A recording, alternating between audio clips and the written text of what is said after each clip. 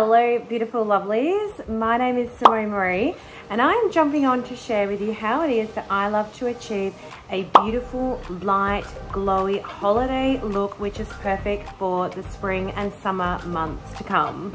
So first up, my skin really, really loves the mineral primer. So I have already primed my skin, but we are now going to apply the beautiful Champagne Glow Illuminant and it is a beautiful liquid consistency and I love to apply this underneath my coverage of choice. So this is going to help give a beautiful glow to your skin and perfect if you're going on that beautiful summer holiday as well.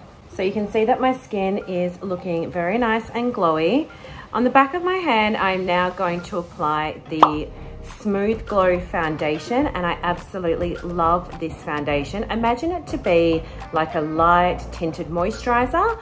It's nice and light and fluffy.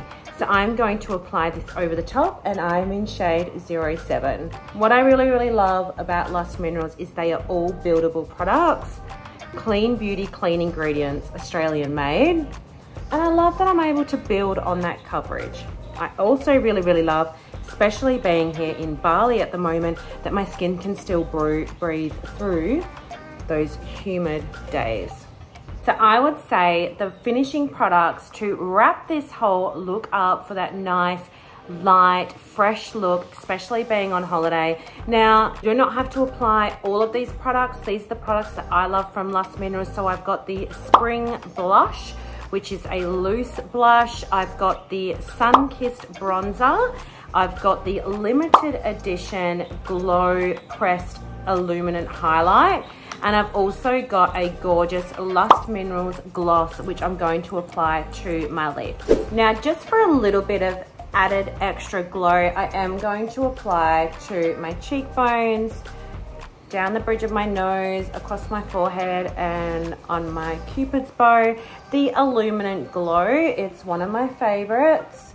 It is in the shade Champagne Glow. So I'm just going to press that all in. You can apply this wherever you like, but I love to apply it to those points of my face. Now, when it comes to blush, I'm going to be using the shade Spring. And we're just gonna make sure that we tap off that excess. And then I like to apply the bronzer and the blush to my cheekbones and working all the way up. So when it comes to the application of your blush, your bronzer and your illuminant, you can do this in whichever order you love to apply best.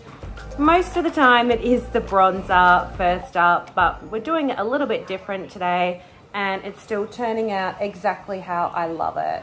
Now with the bronzer, you can apply it to your cheekbones, underneath your bottom lip to bring out your shape of your lip and to enhance that area and as well as down at the bridge of your nose.